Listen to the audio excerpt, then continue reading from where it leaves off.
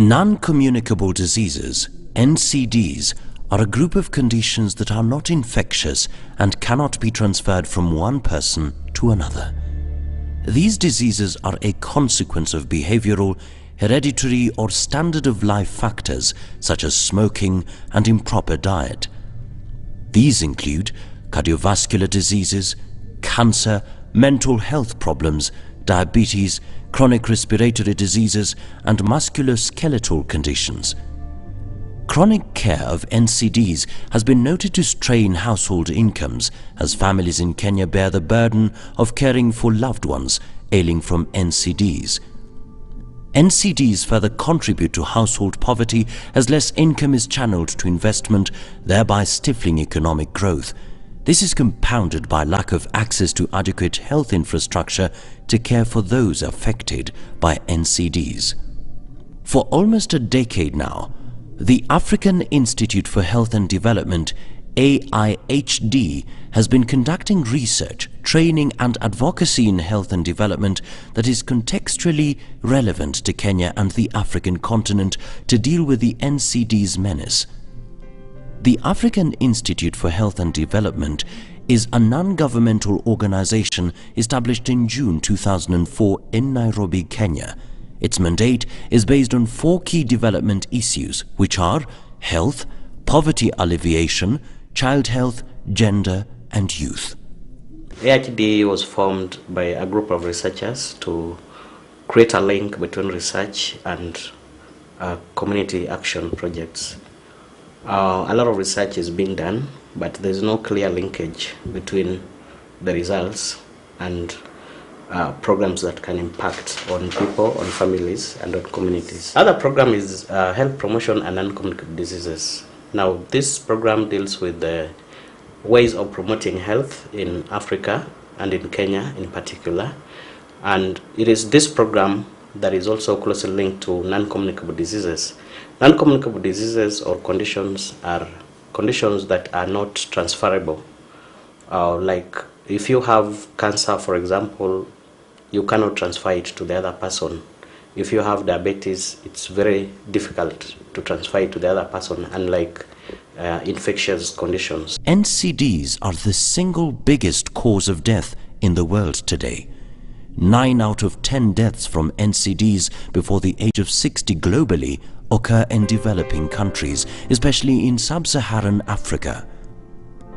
The major non-communicable conditions globally are diabetes, cancers, and uh, chronic respiratory diseases. These four conditions causes over two-thirds of deaths globally every year. That is about 63%, uh, 63% of the global deaths every year are due to these four conditions. And these four conditions have got common risk factors, which are tobacco use, alcohol use, unhealthy diet, and physical inactivity. Contrary to common perceptions of NCDs, these are not just diseases of the elderly and the wealthy in developed countries, they mostly affect poor people. Two decades ago, we could not talk of these conditions in Africa because they were known as conditions of the affluent. But I'm telling you today, they are no longer conditions of the affluent because you go to our slums today, you'll find people that are having non-communicable conditions. You go to the slums, you find most of our youths, most of our the people there are smoking and they are smoking in the open. The people sitting ne- nearby are also being affected. So you find that chronic, these chronic conditions are very prevalent now in the developing countries, where Kenya is one of them. The main factors aggravating to NCD's burden in developing countries are increased level of exposure to tobacco use, physical inactivity, unhealthy diets, harmful use of alcohol, ineffective and inequitable health facilities. NCDs are linked by common risk factors and are largely preventable through changes in lifestyle. Low-cost measures can prevent millions of premature deaths every year through action against NCD risk factors.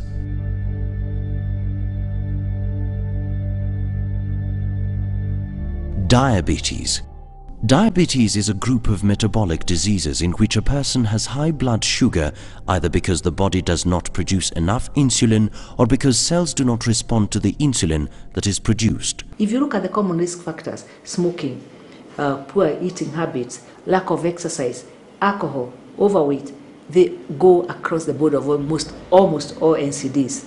You take mental health, most of the issues that come with mental health have addiction, drugs, smoking, alcohol. You look at cancer, stress, all these issues, they can go across. So if we all joined hands and tackled these common factors and went out in the community and preached and preached and preached about prevention, change our lifestyles, live healthy, eat healthy, exercise, stop smoking, stop uh, uh, this alcoholism, believe you me, the NCD will be captured and put under the lid very fast. This high blood sugar produces the classical symptoms of frequent urination, increased thirst and hunger. My name is Joseph Mboi Mburu and I come from Thika, a place called uh, Katura. It's in Gatanga constituency. Uh, the first time I learned I had diabetes, I remember I was actually in Form 1. I had all these symptoms. First of all, I lost a lot of weight. I was taking a lot of water, urinating every now and then. My skin had dried up and all those signs. Diabetes affects the way the body uses blood glucose. There are two types of diabetes. Type 1 diabetes develops when the immune system destroys the insulin producing cells in the pancreas, allowing a buildup of glucose in the blood. In type 2 diabetes, the cells resist the insulin and cause an increase of glucose in the blood. There are two types of uh, diabetes. There is type 1 diabetes uh, that normally tends to affect children, but uh, can also affect people of any age. Then we also have type 2 diabetes that is seen more commonly in adults, but we are seeing younger people, even uh, people in their 20s, teenagers, and even some a few children below 10 years now being affected with type 2 diabetes.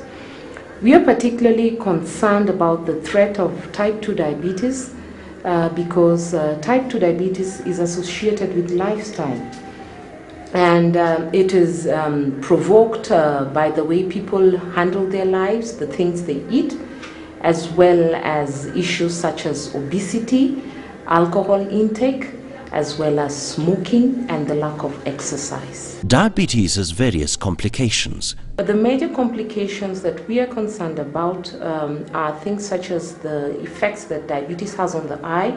Diabetes is a cause of blindness. It can be either temporary or permanent. Uh, when you get a cataract in the lens of the eyes, that causes temporary blindness, which once you remove the cataract, then uh, the blindness goes away.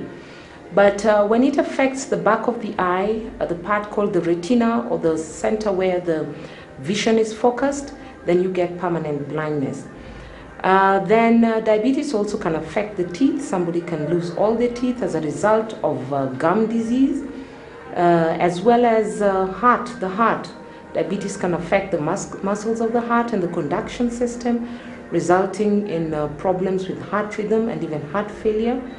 Uh, because of diabetes, you tend to have a problem with the blood vessels, clogging in the blood vessels, that can result in heart attack as well as stroke.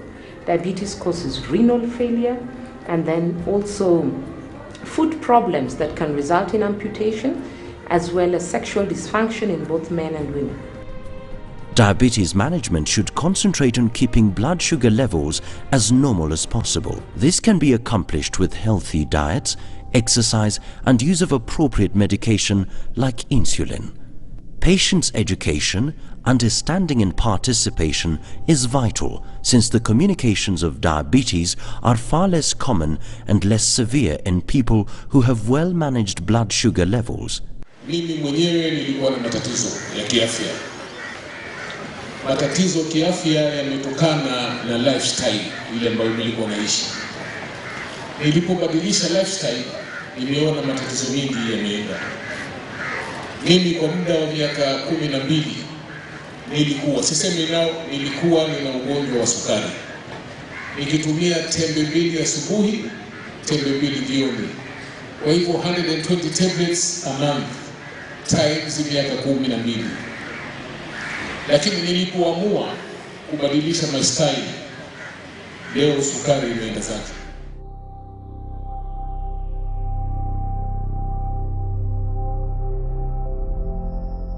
Cancer, medically known as malignant neoplasm, is a broad group of various diseases, all involving unregulated cell growth.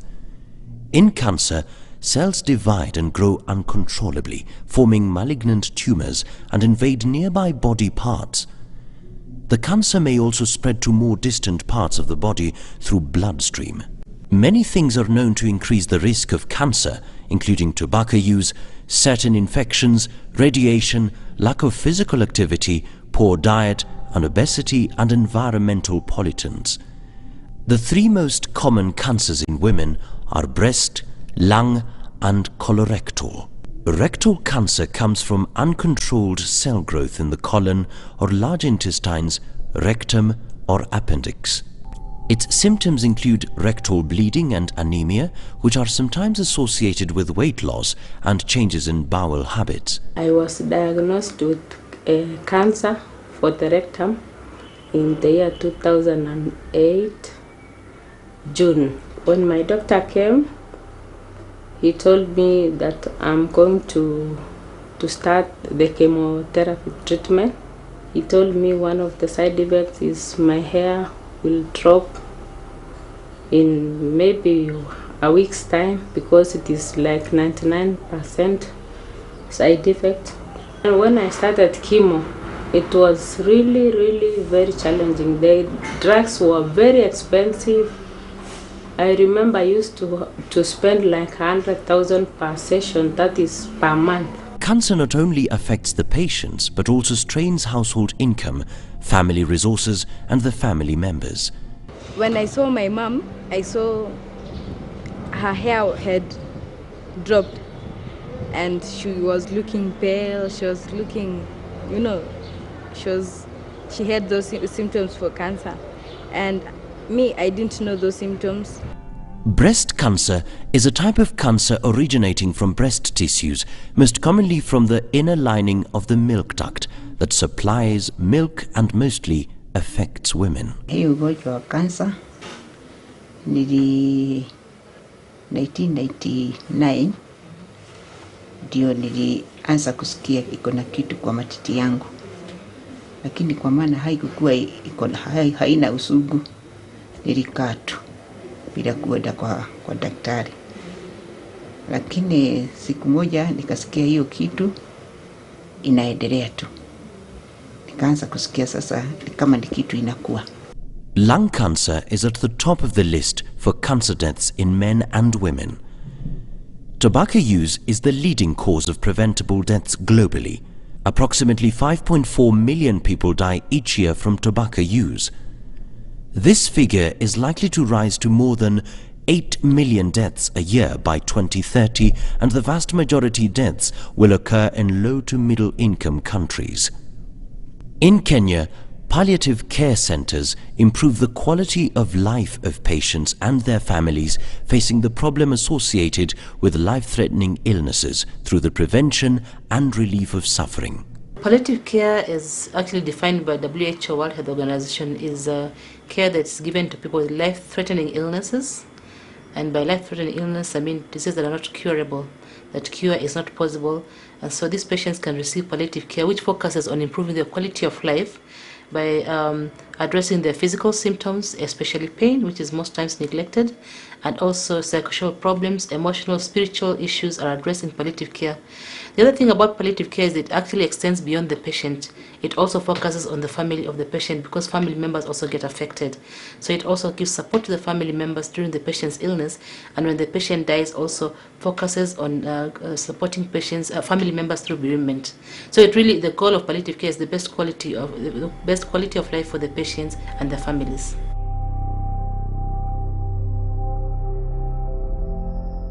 Cardiovascular diseases. Cardiovascular diseases are conditions that affect the heart and blood vessels. These include atherosclerosis, coronary artery disease, hypertension, diseases of the aorta and its branches, disorders of the peripheral vascular system, and congenital or heart disease. Regular cardiovascular exercise, also known as aerobic exercise, is one of the best things you can do to improve your overall health. Popular aerobic exercises including brisk walking, running, swimming, cycling and other activities that increase your heart rate for a period of time can also count. Overweight and obesity are major risk factors for cardiovascular diseases. I've been living with hypertension for almost 30 years now. I found out when I I was I had my first pregnancy. That is when the doctor told me that I have hypertension. And from that time I've been living with it up to date. The doctor said that is something that uh, some uh, she I can control it, and uh, you should avoid to to make me annoyed or not. You can you should not be annoyed or you should not be very excited because that is the time when when you become annoyed or you become uh, excited then the pressure goes up when i noticed the legs were not swelling so much but now the legs are you can see even the legs are swollen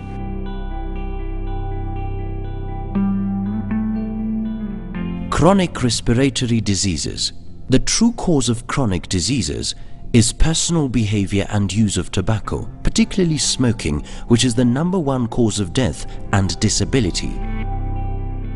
Asthma. Asthma is the common chronic inflammatory disease of the airways characterized by variable and recurring symptoms, reversible airflow obstruction and bronchospasm. Asthma symptoms include wheezing, coughing, chest tightness and shortness of breath. Um, I'm a student, or rather I was a student at Daystar University. I'm currently doing my internship at Cambridge. I'm asthmatic. Yeah, and um, it's not like something that caught me by surprise or anything. Since where I come from, it's genetic, so I was not the first one to have it. Yeah, so I was born with it, uh, and I've been living with it like since then, like since I was very young. People have this conception that misconception that you get asthma attacks when it's cold but really it happens at any time. When it's dusty when it's hot when you do strenuous activities when you exercise when you do heavy work you know like all that. At every time you need to be with your medication. And the people around you need to understand that you're asthmatic. So that if you get an attack and maybe you're not able to reach your medication someone at least can be able to know like yeah she's asthmatic this is what we're supposed to do It is caused by genetic and environmental factors.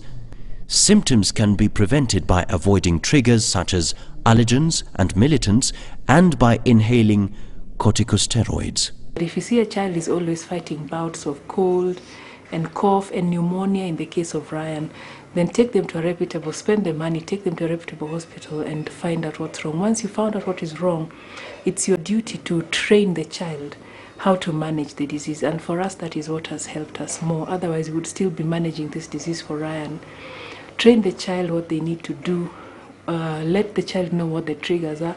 There's a place in Nairobi now where you can go and the child will be tested to find out what the triggers are. And for Ryan, it is dust and cold mostly.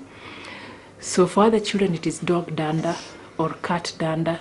Uh, for other children, it is um, dust mites. For other children, it is even uh, sugar. For other children, it is stress or bad news. Try not to limit the child because they are sick. Let the child go up to where they can go and let that activity to limit them. Let them see for themselves, but not always saying, don't do this, you're sick, don't do this, you're sick. Let them live as normal a life as, as possible.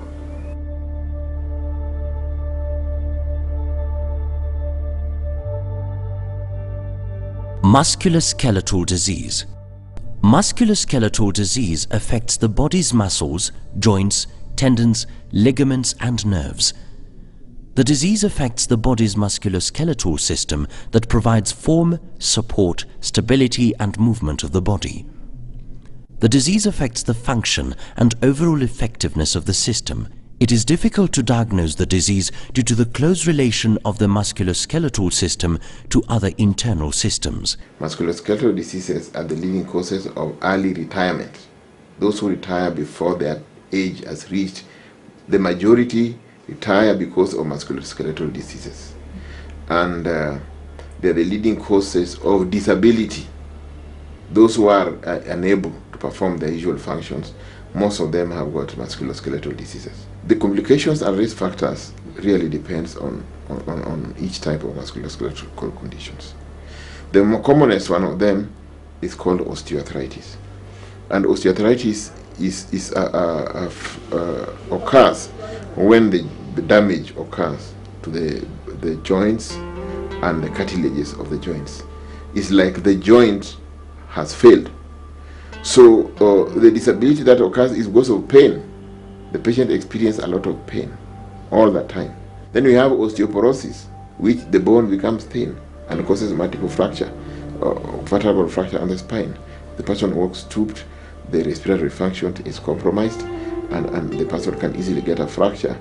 And once they get a fracture and are admitted to hospital, the, the, the, the, the risk of dying are pretty high. In fact, the risk of dying from hip fracture osteoporosis is just as high as the risk of dying from breast cancer. All of us are going to experience some musculoskeletal problems. There's nobody in this world who has not had a backache or who is going to have joint pain. So everybody, unlike cancer or heart disease or, or other chronic conditions which some people will get, musculoskeletal condi conditions everybody will get so long as you live uh, uh, reasonably long enough or, or everybody has experienced them. The second thing uh, that we need to understand is that some of them are preventable. For example, if uh, you're talking about osteoarthritis, if you reduce the body weight by 5%, you reduce your chances of getting them by 50%, especially osteoarthritis of knee and hip. So they can be prevented. If you take calcium, adequate calcium in a diet, you can prevent osteoarthritis. If you take a diet rich in vitamins, uh, in, in, in, vegetables uh, and, and fruits, you can reduce the, the, the, the, the burden of, of these conditions.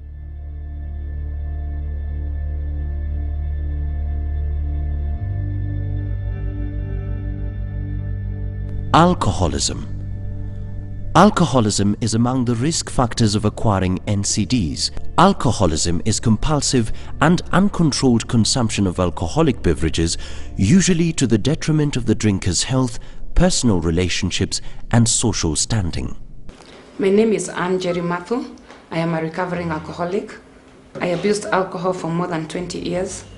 I started abusing alcohol when I was barely 10 years old. From one and two, I started drinking in school, it's sneaking alcohol into school, like uh, during outings, during midterms when we're opening school. And actually, I made friends with seniors who are also drinking. Like, uh, you know, an alcoholic or a drug addict won't do drugs or alcohol alone. And uh, when my seniors left, I recruited other people who are my juniors. I joined Kenya Poly here in Nairobi and uh, for a diploma in IM, that is catering and housekeeping. And my drinking continued like you know like in kenya poly i had a lot of freedom. We used to get uh, an allowance which used to call a boom of 500 shillings per month. Because i was an attention seeker i wanted attention. I wanted i didn't care whether it was positive or negative. I just wanted to be on top somewhere. So actually uh, i started going for dancing competitions. Everywhere there's a dancing competition in nairobi i went. In nakuru i went. In uh, nyeri i went. I wanted fame. One day when we were in class a lady came and told me, ah, Anne Mathu, you're in class and people are enrolling for Miss Kenya Beauty Contest. I literally left everything in class, rushed to KICC, enrolled for Miss Kenya Beauty Contest. And actually, when the D-Day came, I was number two in the whole of this republic.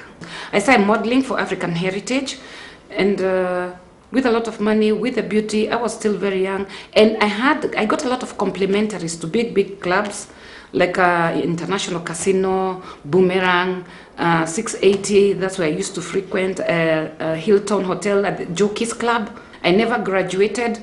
I never passed my exams. Most of my exams, I passed some, I didn't pass others, I was referred, I wasn't going to go back. I had that pride that every addict or every alcoholic has. Like, uh, addiction or alcoholism is a progressive disease. We have different stages, so you keep on moving from one stage to another.